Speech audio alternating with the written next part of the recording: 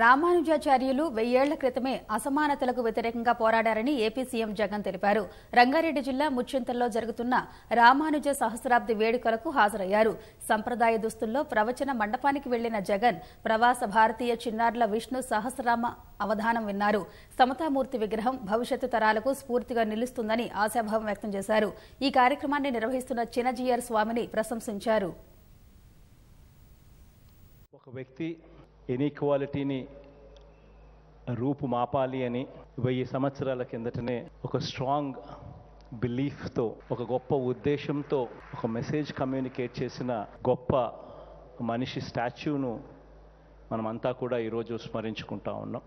ఒక గొప్ప కార్యక్రమాన్ని చేస్తూ ఉన్నందుకు మనస్ఫూర్తిగా చిన్నజేరు స్వామి గారికి కంగ్రాచులేషన్స్ కూడా తెలుపుతూ ఇంత మంచి కార్యక్రమాన్ని ఈ స్థాయిలోకి రావడానికి తోడ్పాటు అందించిన రామేశ్వరరావు అన్నకు కూడా మనస్ఫూర్తిగా కంగ్రాచులేషన్స్ కూడా తెలియజేస్తా ఉన్నాను.